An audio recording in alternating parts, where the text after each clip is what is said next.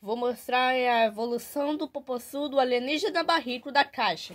Esse daqui é o ba barrico original de 2006, o barrico da seleção 2010, o, o barrico com o barrico de, com vestido de rock and roll 2011 e outro é o barrico mão de bola, porque está com a camisa do Atlético Paranaense de 2014 a 2015.